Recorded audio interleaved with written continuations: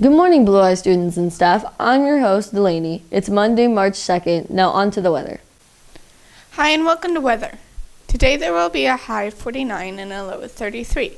It will be cloudy with scattered showers and a 30% chance of rain.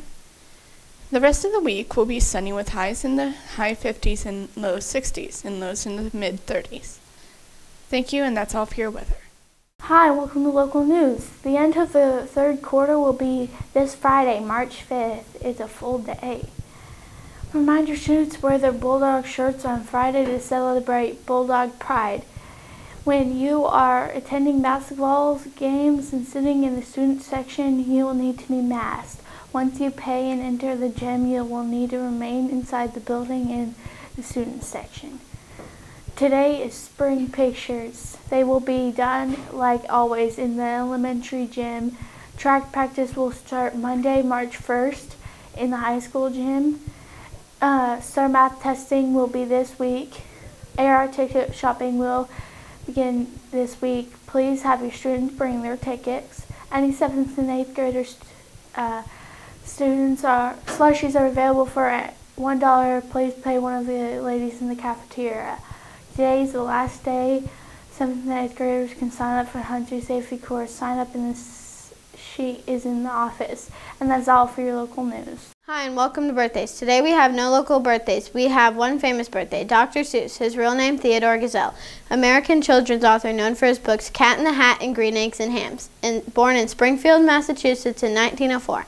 And that's all for your birthdays. Hi, and welcome to sports. Tomorrow the girls will play tomorrow for the sectionals against the Greenfield Wildcats. There's a pet bus going to Greenfield at 3.15, and you have to be signed up for the pet bus before 9 a.m. Middle school volleyball starts this week. Tuesday, they will take on the road to take on the Billings Lady Wildcats. They will finish the week at home and they will take on the Crane Lady Pirates. On Thursday, they will on Friday, they will take on Sparta Trojans. All the games have a start time of 6 p.m. Come out and cheer them on. And that is all for sports. For for breakfast, we have egg, bacon, and cheese bagel with, with cereal and yogurt, chilled fruit, fruit juice, and milk. For lunch, we have chicken alfredo with Italian bread and, ga- and glazed carrots.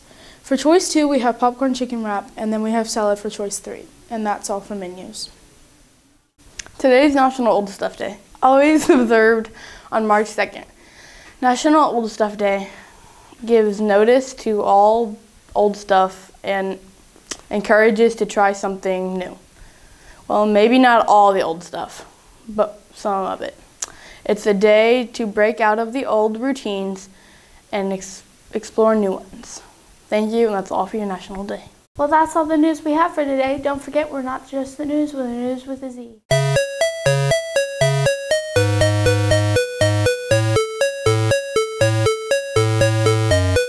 Welcome to Random Fact. Wow, you are so cool. 90% of people will say that in a sarcastic way. That's all for your Random Fact.